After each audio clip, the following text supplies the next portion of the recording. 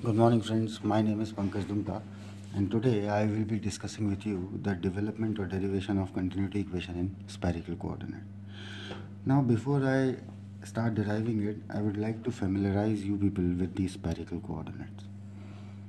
Now consider our old Cartesian coordinates x, y and z in proper sense of rotation that is if we move from x to y direction then the thumb then the right thumb right hand thumb should point in z direction like this z direction.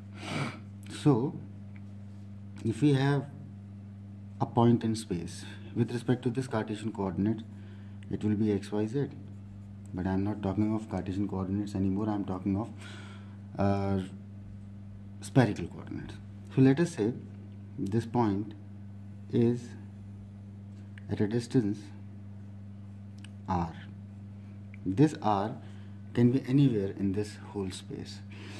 And with respect to z axis, if you look this axis, with respect to this axis, let us say that this radial vector is making an angle phi. Now, if we project this onto x plane, let us say this will be the projection, then if this is r then look this is angle theta. This angle will also be theta. Sorry if this is phi this angle will also be phi why? Because this is a line and these are alternate opposite angle. These are two parallel lines. So if this is phi this is r and you know this is projection onto this plane so this will always be a 90 degree. So this length will be equal to r sine phi and this length will be equal to r cos phi. Now, where this x is where this point is located in this plane, if you say that this is your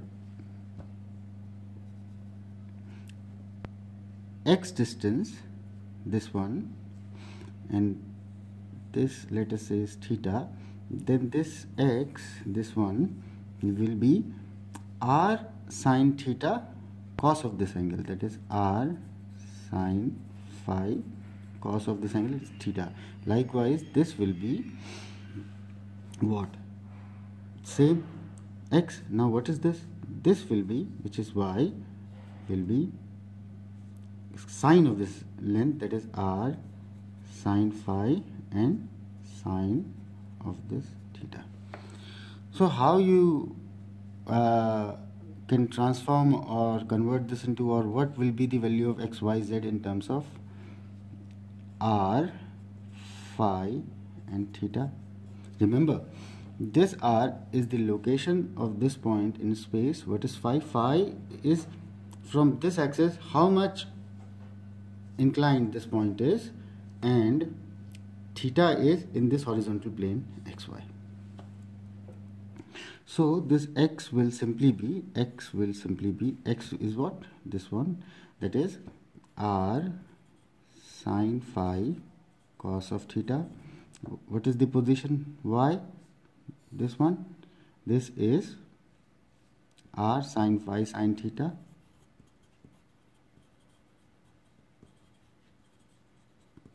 And what is the location z? So z will be how much z will simply be mm, r cos phi. This phi is also sometimes called as azimuth angle. Now this is how we have located this point in uh, with respect to our cylindrical sorry spherical coordinates.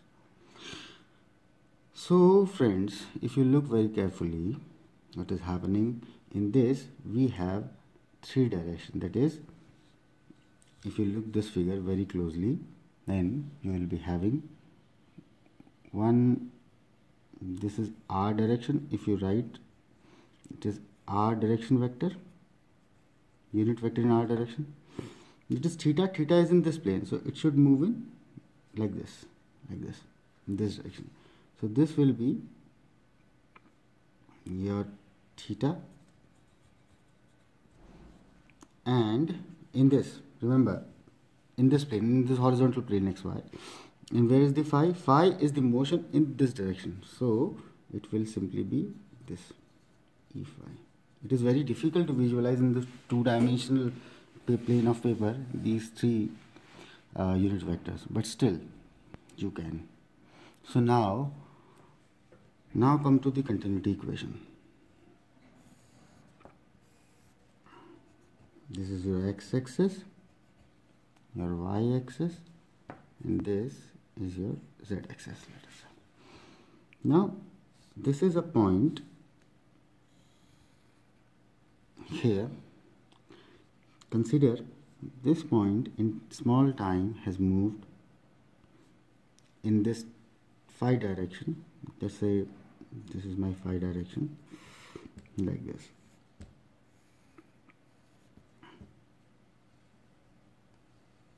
small angular turn uh, d phi or delta phi whatever is convenient to you. So let us say this has turned d phi. Now this is r and in r direction it has moved like this a small distance in r direction. Let us say dr now in theta plane it will move like this. So this in theta that means this look very carefully. Mm.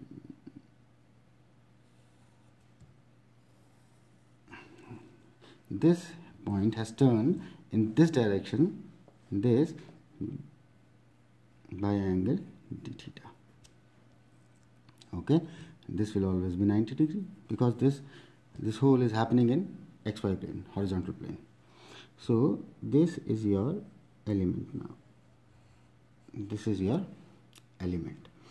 Now what is r direction? It is radial. What is theta direction? It is into the paper. And what is phi direction?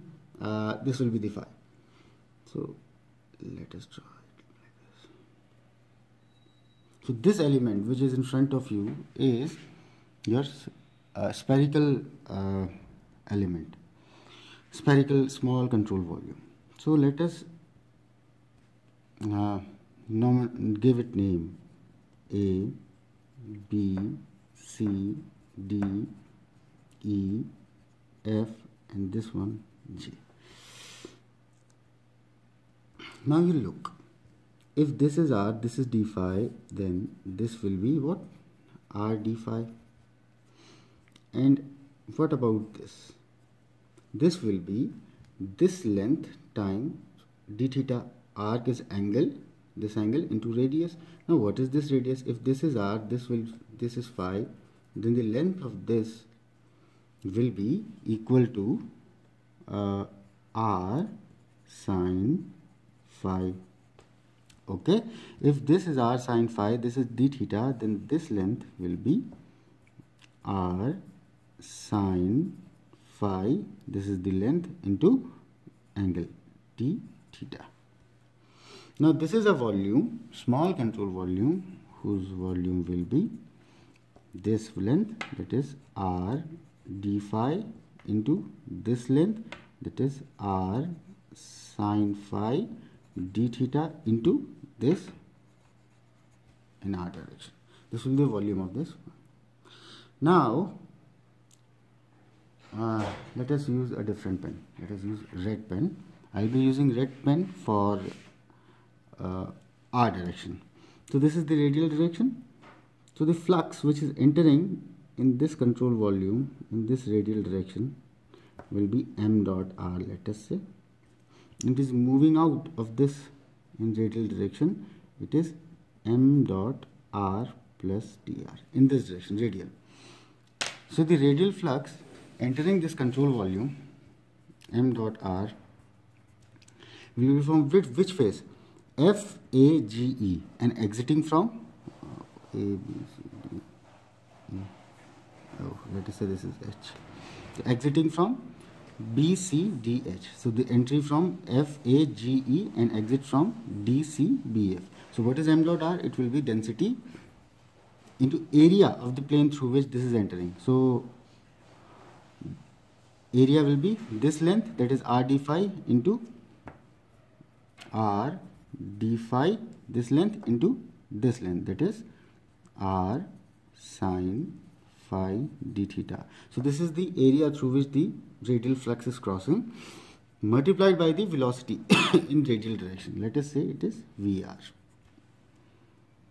But I mean to say that velocity vector is defined as Vr Er plus V phi E phi plus V theta E theta where these are the unit vectors in R phi and theta directions. Now this is the flux which is entering and what is the flux which is leaving? m dot r plus dr. Simple Taylor series expansion will give you m dot r plus del m dot r by del r into dr. Remember one thing that what I did here is truncated the other term that is the terms of higher power of dr. As dr is very less so if we squeeze it further so the higher power terms will be much much much smaller so they can be neglected very well now uh, what about phi direction so if you look very carefully this is the phi direction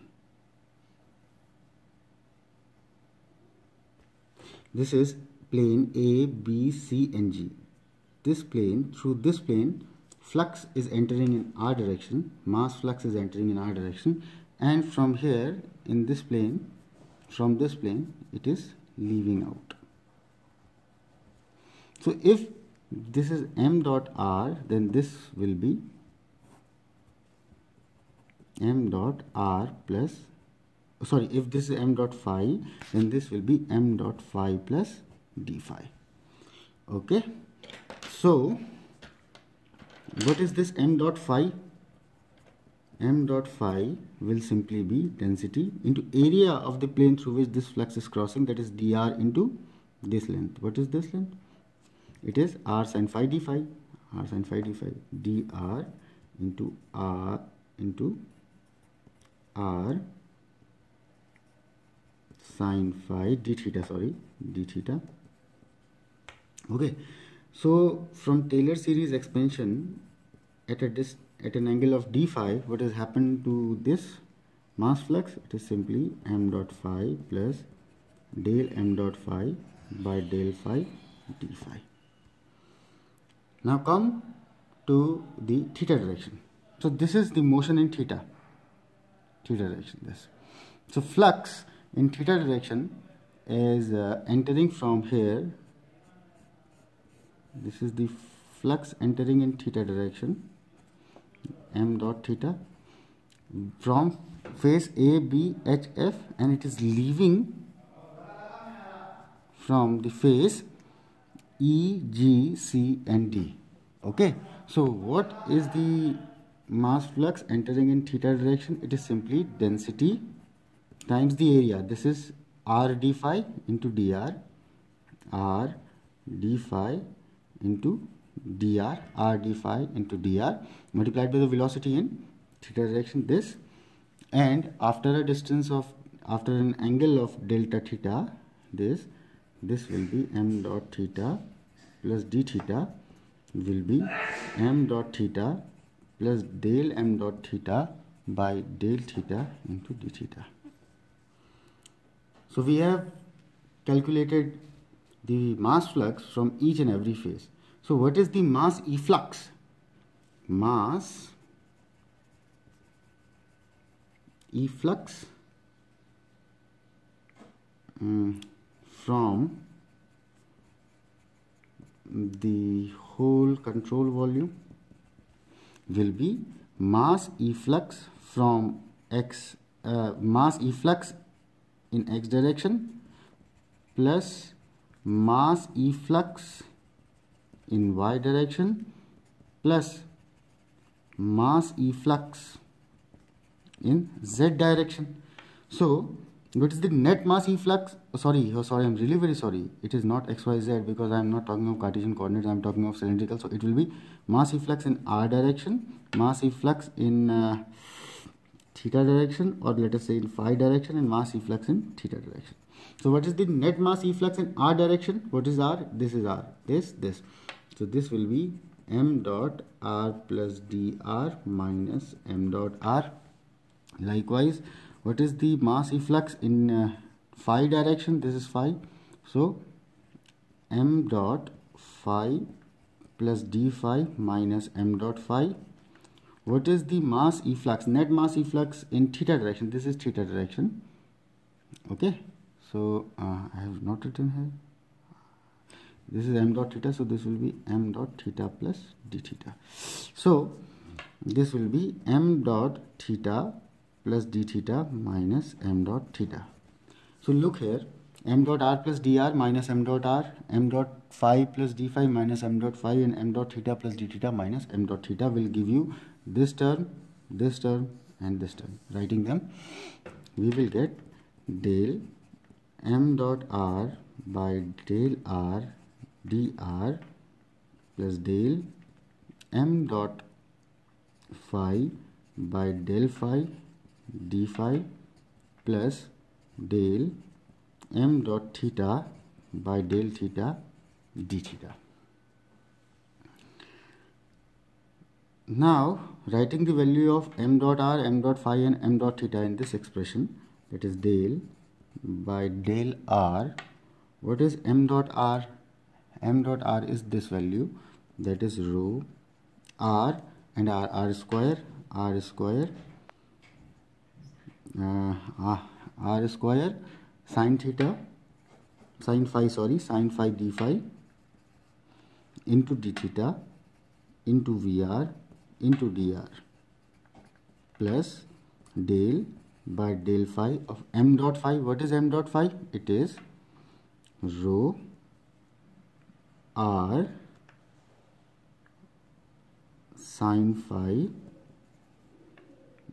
d theta dr into d phi plus plus uh, this that is del by del theta of m dot theta. What is m dot theta? It is rho into r into dr d phi v theta. D theta. Now i'll be i'll be needing this. So um, now look. In this expression this is differential partial differential with respect to r. That means phi theta will not be varying. We will consider them as constant so this is this and this. They will come out. This will simply become del by del r rho r square vr into sine phi d phi d theta dr plus now what is this? This with respect to phi partial that means r theta will be considered as constant. So they will come out. So del by del phi of rho um, sine phi and uh, rho sine phi. So this is uh, what this this will come out this will come out. So r mm, dr d theta d phi will be left and plus. Now this is partial derivative with respect to theta. That means we will consider r phi as constant. So del by del theta rho. R will be considered as constant. Phi will be considered as constant. So it will simply be v theta. Okay. So this r r dr d phi d theta will be uh, left. Now this is the this is what? This is net mass efflux from this control volume. So what is continuity equation? It says that net mass efflux net mass this is mass conservation simply. Net mass efflux from the control volume plus rate of change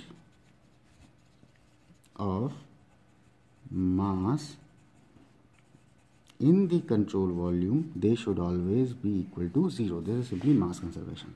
So what is the rate of change of mass in the control volume? What is the mass at this instant in this control volume if you look can you see this? No you can't. Let us say. Okay i think it's clear. So what is the mass in this control volume right now? Mass in this control volume will be what? Density into volume of this control volume. And what is the volume? It is this. That is r uh, r r and r r square sine phi d phi r square sine phi d phi d theta and dr okay so this is the mass. And the rate of change that means del by del t with respect to time time. This will be the case.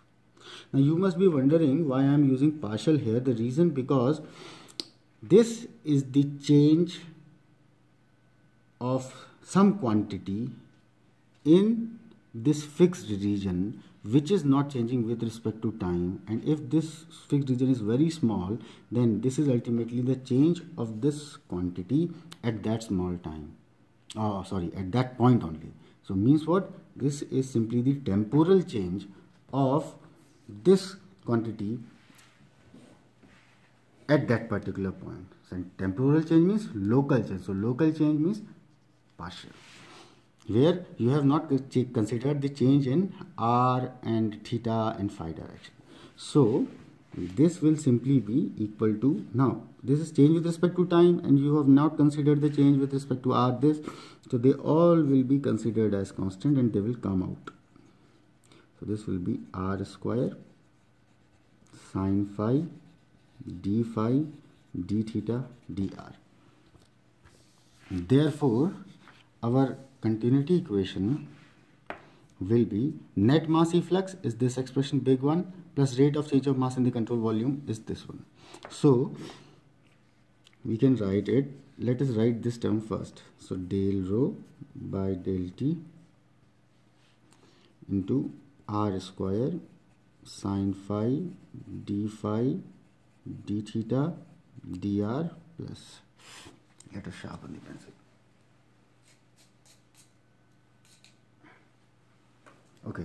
This one plus this term del by del r rho r square vr sine phi